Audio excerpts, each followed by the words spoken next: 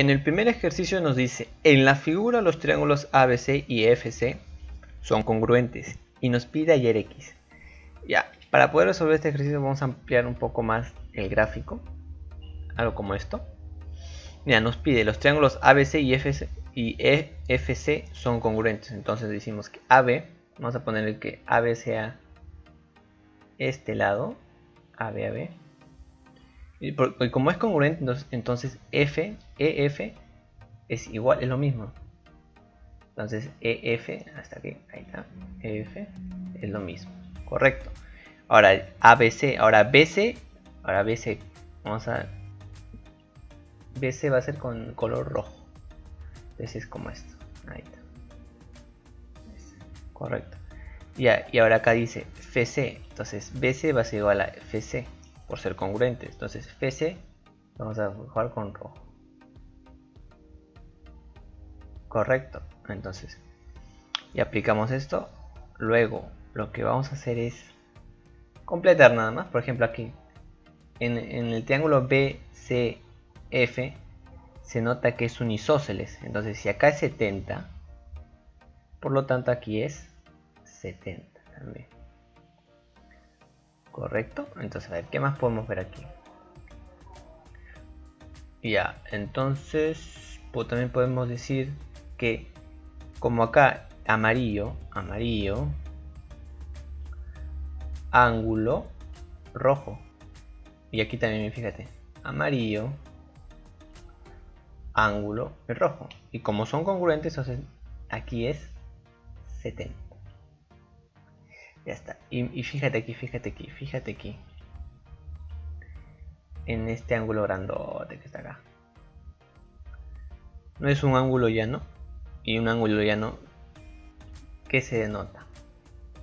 Que mide 180. Entonces x más 70 más 70 es igual a 180 grados, grados, grados. Entonces x sería igual a 40. Y esa sería la respuesta. Vamos con el siguiente ejercicio.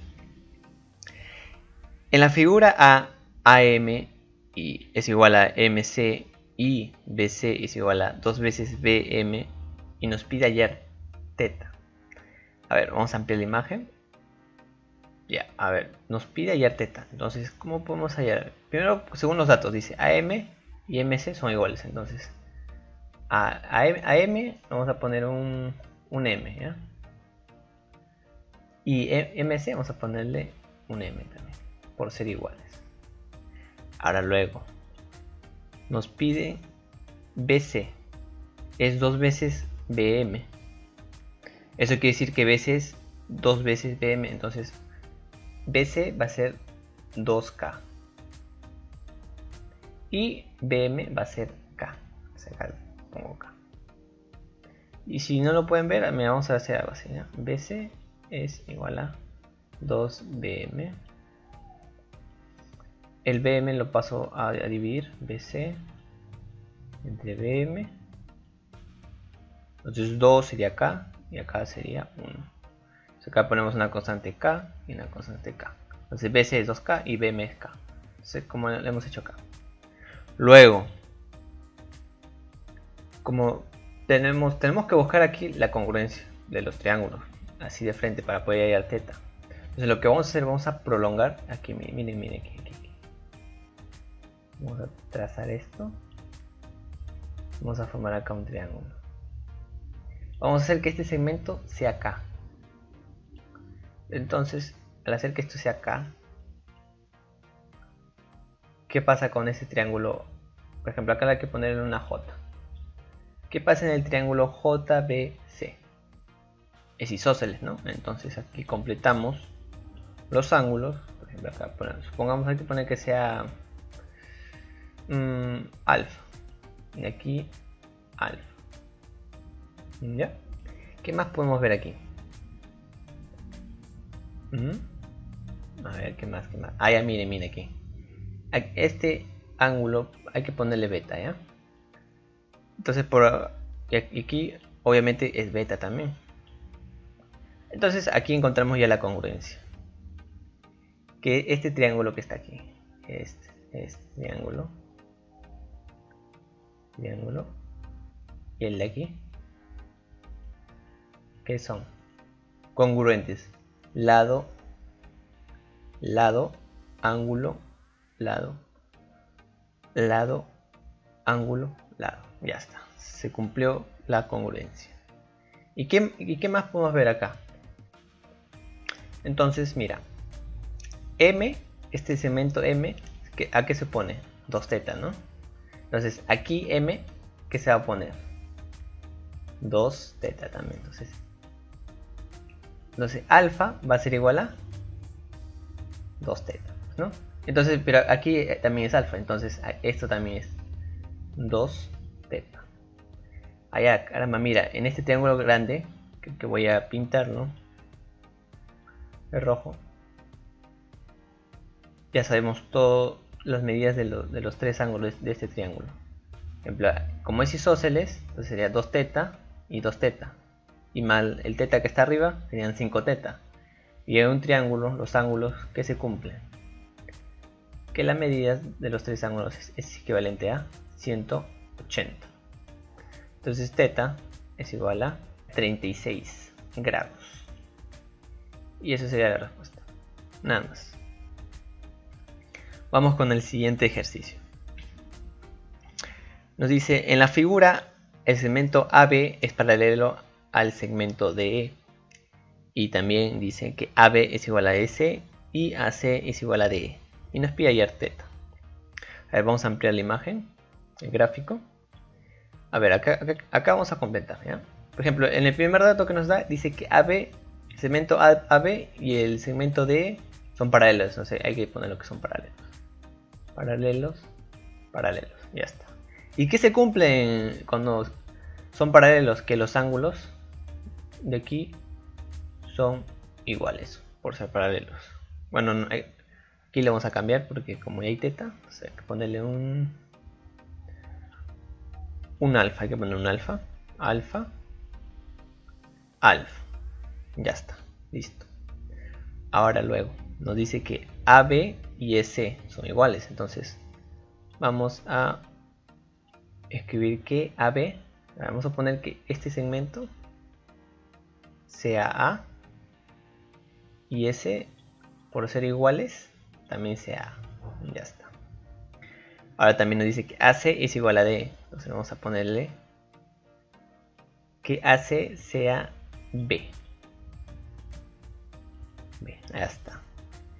Y D por lo tanto también sería B. Ya está. ¿qué podemos ver en el gráfico? Podemos ver, notar un poco de congruencia creo por ejemplo, fíjate, fíjate aquí en este triángulo. BAC. ¿Qué hay? Lado, ángulo y lado. Ahora fíjate en este triángulo. En el DEC. Lado, ángulo, lado. Entonces se cumple la congruencia. Entonces como ya tenemos la congruencia, entonces entonces, ¿cómo podemos hallar el teta? A ver. Como ya sabemos que esos dos triángulos son congruentes, entonces este lado de aquí que estoy pintando es igual a este lado, porque ambos triángulos son congruentes, entonces deben tener el mismo lado. Bien, entonces aquí que se forma? Ah, isósceles. Entonces si acá es 3 teta, por lo tanto aquí cuánto es? 3 teta. Entonces, mira, en este triángulo grandote que, voy a pintar ahorita, color morado, este triángulo grandote, que se cumple un triángulo, sus ángulos, cumple que 3 teta más 4 teta más 3 teta del otro teta que está ahí es igual a 180 entonces 40, mejor dicho, 3 teta, 4 teta más, más 3 teta sería 10 teta. Esto es igual a 180. Entonces teta sería igual a 18. Entonces 18 sería la respuesta. Vamos con el siguiente ejercicio. A ver, en este ejercicio nos dice que la figura ABC y PBQ son triángulos isósceles de bases AC y, PQ. Si AP es igual a CQ y la medida de PCQ es igual a 100, hay la medida de BAC. A ver, vamos a agrandar el gráfico. A ver, vamos a completar los datos. A ver, nos dice primero que ABC y PBQ son triángulos isósceles. Entonces, y de base AC. Ah, entonces, si es de base AC del primer triángulo, entonces este lado va a ser el isósceles. AB y BC. Porque AC es la base. Y del siguiente triángulo dice que es PQ. La base es PQ. Si es PQ.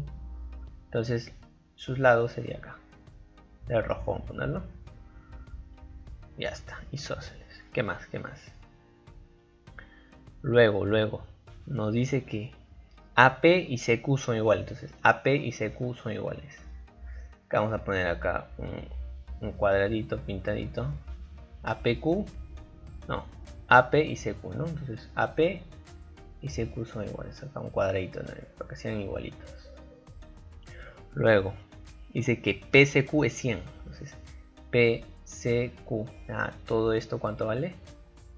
100 grados. Ya está.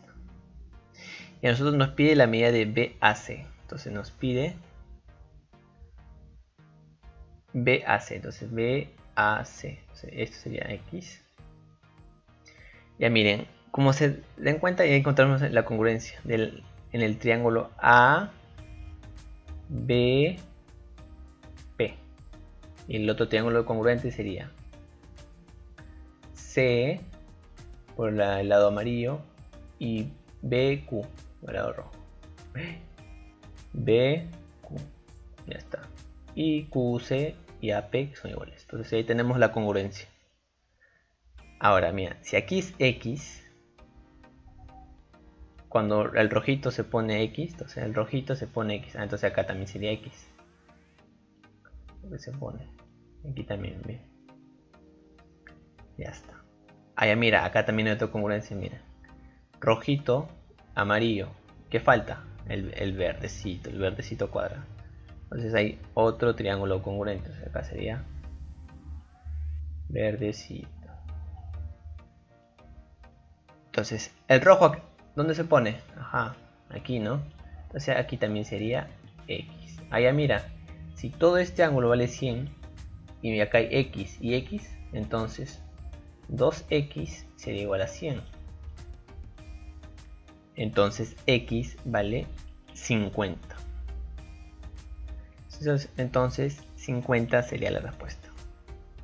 En el siguiente ejercicio dice, en la figura AB es igual a BC y también es igual a BD y ED es paralelo a AC, AYX. vamos a ver. Vamos a completar los datos. Eh, el primer dato dice que AB, vamos a poner que AB sea toda esta cosita. Y BC sea esto también. Y BD, hay BD acá. BD. Ya está. Ahora dice ED es paralelo a. Eh, allá. Entonces ED, ED, ED, acá está. Es paralelo a AC. Paralelo. luego, como es paralelo, entonces si acá es 70, por lo tanto aquí es 70, por ser paralelos. Ya está, vamos a, seguir completando. Mira, si aquí es 30 y acá es 70, sería 100. Entonces aquí cuánto sería? 80. Entonces, ¿y aquí cuánto sería? 80. Entonces acá sería 80. Ah, pero mira, si acá hay 70 y 80, ¿cuánto suma eso? 150. Ya que acá sería 30. Ya está. Y a nosotros nos pide X. Pero fíjate en este triángulo. A, B, D.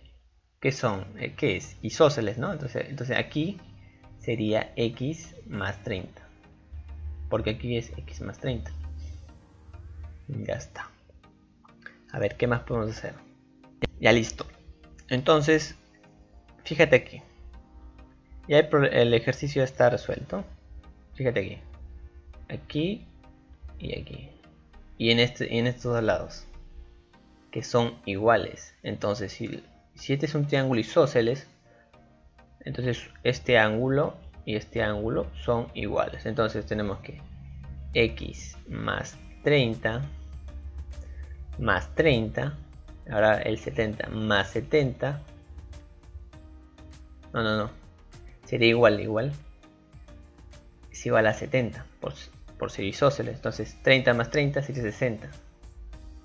Entonces 60 más x es igual a 70.